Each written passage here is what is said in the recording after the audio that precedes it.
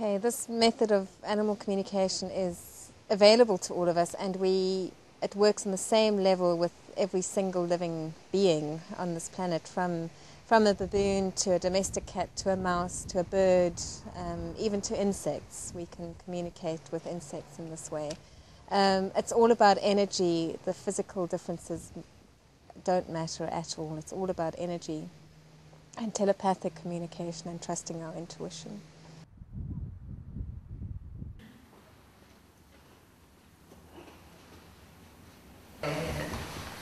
And I think work with Angelina.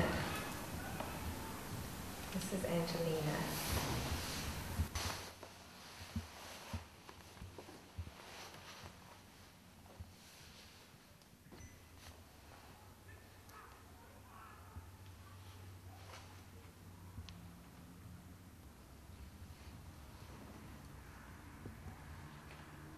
She comes, she screams, she in the garden. It's wonderful. Um,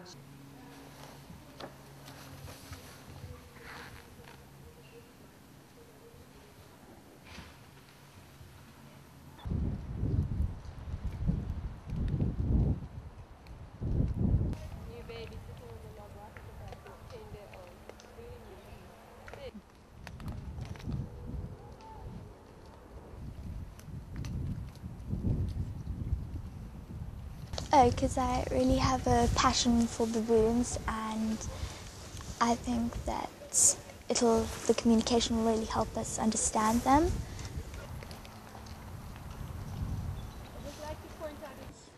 Well, although I see them every day, or at least every week, from my own home and when I'm out walking, there's a lot I don't know. So that's why I wanted to speak to Jenny um, and Wynter and find out more about what their behaviour patterns are, how to age them, how to identify them, and how to have a better understanding of what they're, what they do in life and how they're feeling.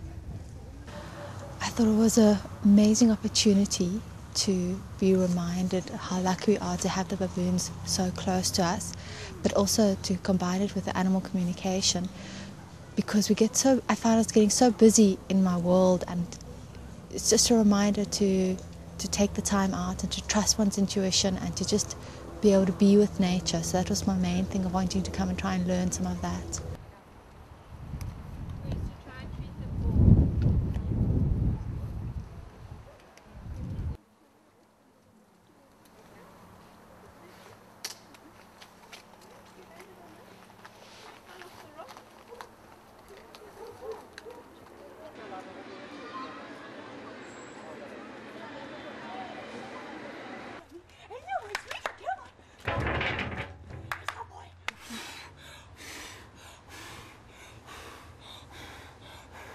We can communicate with animals to such an extent that we build a trust, a bond between animal and human.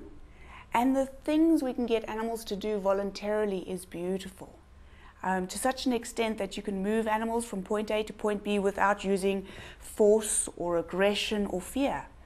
The animals willingly move just by simply communicating with them. he likes you. ha ha ha ha